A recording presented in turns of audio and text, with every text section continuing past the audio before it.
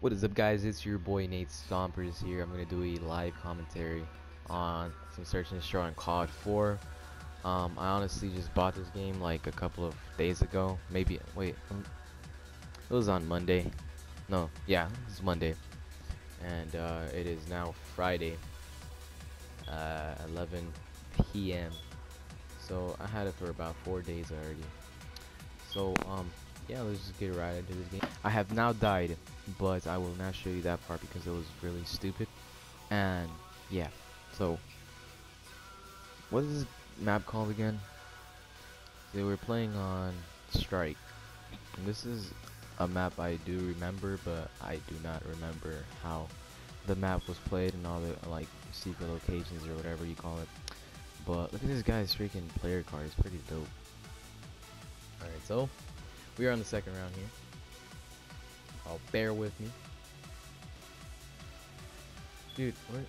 Freaking bush, man. Get marking. Nope. How about that? Alright. That's enough of my childish acts. What? Okay, killed my homie. Um, bottom of B. Store. Alright, I, already know. Alright, kill my boy. Oh, oh my god. Oh my god, dude, this guy just got destroyed by me. Alright, let's do this. Let's do this.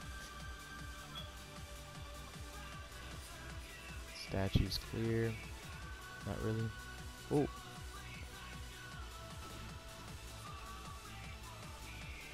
Nope. Nope. Out of here. Alright, so we're on the second round. Oh! Like, I know I was like 6 or 7 years old when COD 4 had barely came out, but I just remember how stupid the grenade throws were. Look at that, that guy got 3 kills on people, man. I swear to God, like, the grenades are so stupid. Alright, let's see. And I feel like I might die because it's on 6 on 6 battle. Look at this turret. I usually like to be in the Marines team, but look at these grenades, just freaking like birds in the sky. Sometimes. Oh my, yeah, freaking there you go, there you go, you go. You later. Oh my God, there's a sniper. But where?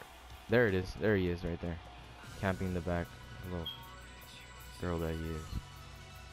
But yeah, guys, that's gonna be it for the video.